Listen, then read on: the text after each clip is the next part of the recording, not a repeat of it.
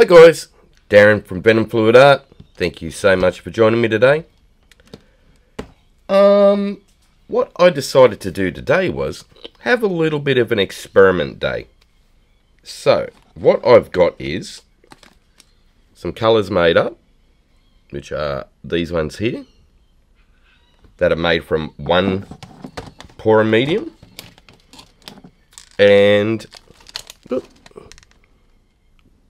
the exact same colours, but with a different pour medium. And we're going to see what difference your pouring medium makes to the shape of your cells. We're going to use the exact same pillow paint, the exact same cell activator. The only difference is the pouring medium that I've changed. They're all the same consistency. So let's go and see what happens. What we'll do is grab our first lot of colours with our first pouring medium. Now the pouring medium is untinted house paint here in Australia. So we'll start putting some of this down.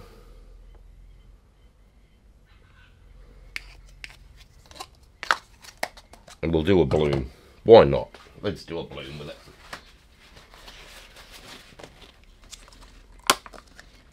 So I'm just going to put all these colours down one after another. You're going to try and put the same amount of cell activator down, same amount of paint down, just so we can see the difference in what happens.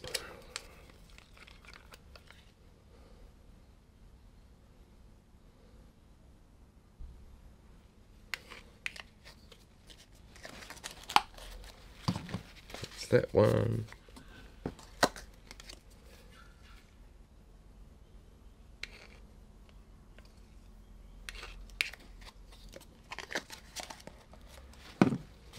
It's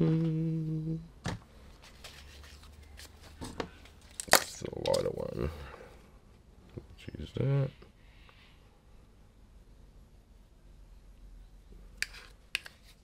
And we'll go the light blue.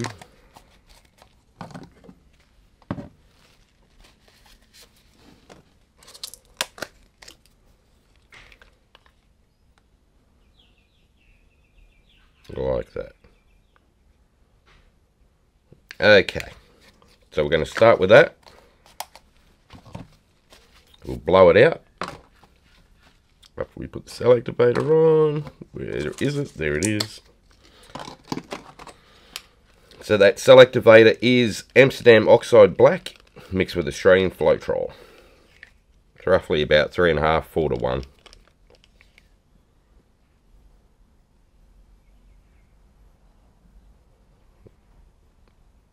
Put a blob of that.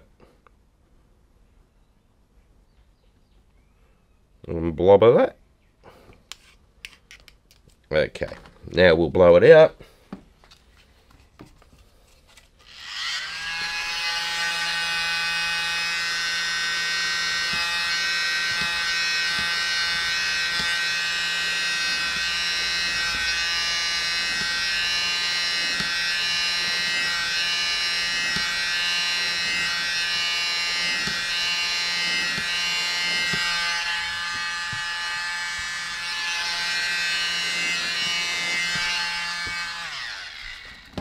Okay. Now, I'm not going to modify these in any way. I'm just going to spin them out and see what the cells look like.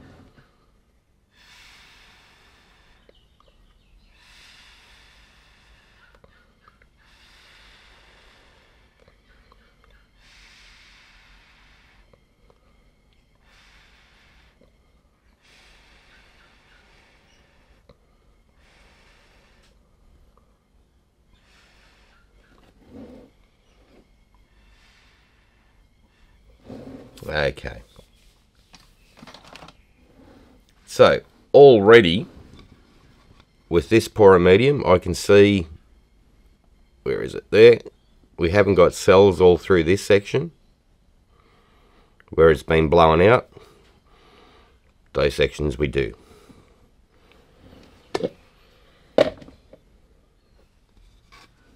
So we'll put that down. Give that a spin.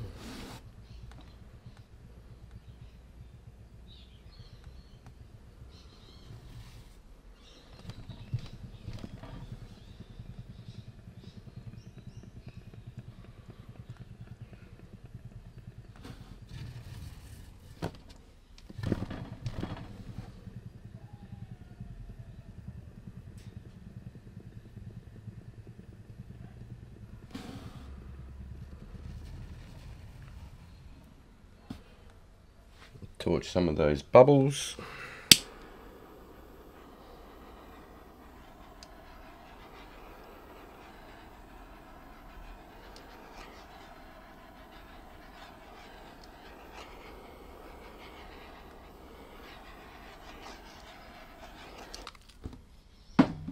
Okay, pop that one up. Okay. So that there. See, you really don't have many cells in that section of it. Over in that section, there's no cells. Still looks cool, but I prefer it all cells, making looking, you know, really cool and what have you. So, what we will do now is that was our first pour medium, which was actually British Paints water-based enamel. Okay, that's what we get here in Australia. We used to have Taubman's Easy Coat Door and Trim, but that was discontinued, so we've had to use other bits and pieces. This one is the water-based enamel.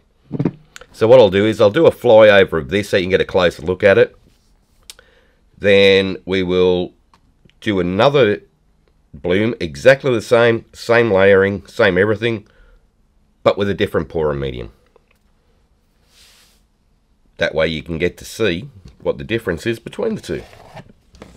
Because when it comes to cells, it's not just the pillow paint you use, how thick it is, or the quality of your paint, or how thick your paint is, or your cell activator, whether you use an Australian Floetrol or an American Floetrol, or even just water and paint. You need a good combination of all the different components to give you cool cells. If one's out, where consistency might be out a little bit, uh, you can get away with it. It's still going to give you cells all over the place. But if your pillow paint, pouring medium, quality of your paints, your cell activator don't quite suit each other, you're not going to get an abundance of fantastic cells. So we'll put this to one side and we'll do another one. Okie dokie. Let's do it with a different pourer medium now. Let's see what happens.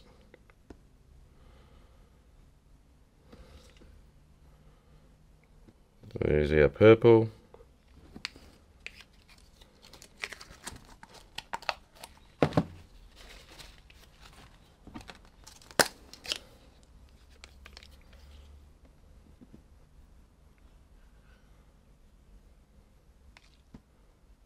Magenta.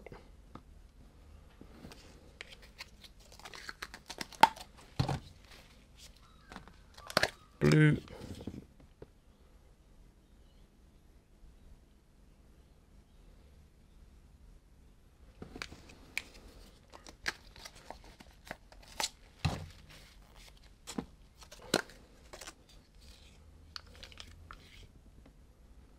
Pink.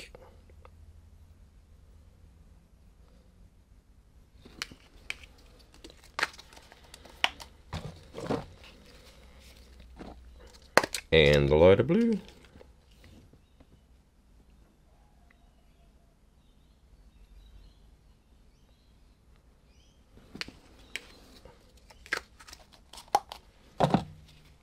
Alright, cell activator.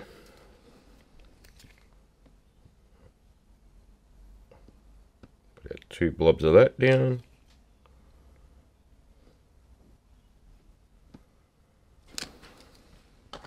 And give her a blow. Might move that in the middle a little bit.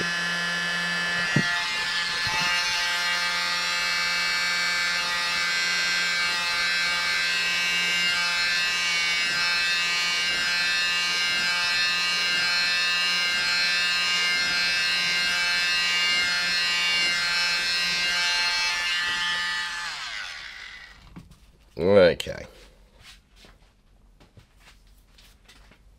Torch some bubbles out. Black pillow paint's got a whole heap of bubbles in it because I only just decanted it this morning.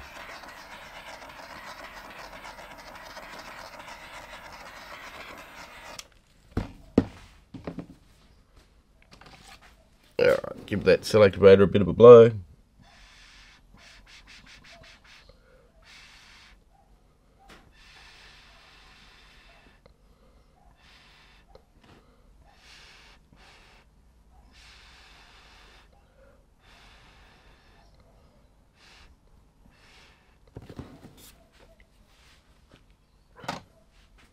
Alright, so you can already see it's got a lot more cells in it. So what we'll do is spin that sucker out.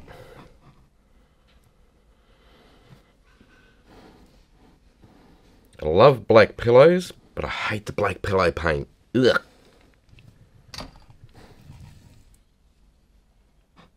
Talk about messy. Alright, so we'll give that a spin.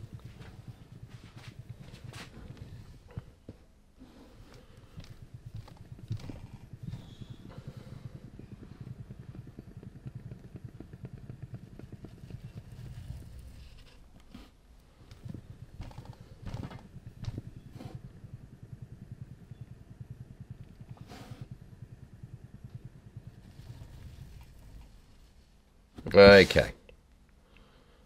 Pop that one up.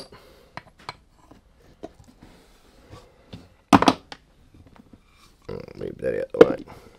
So, what I'll do is I'll do a flyover of that one. And then you can just compare the two. You can see this one has more cells probably could have blown it out a little bit better, but you know, these things happen. But it um, it definitely makes a difference to getting cells, having the right pouring mediums. Um, you know, all the paints are different in all the different countries, so you're going to have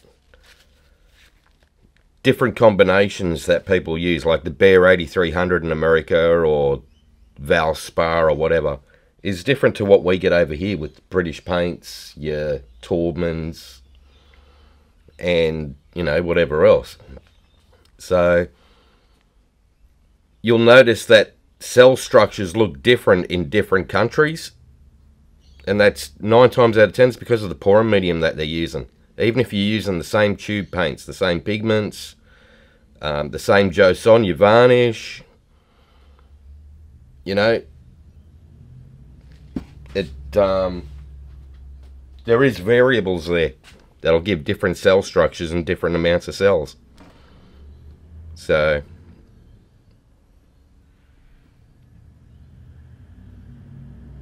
alrighty. So that just goes to show um, a different pouring medium. If you're not getting cells to work the way you want them to, try changing your pouring medium up. Swap it for something else that might work a little bit better. You never know your luck.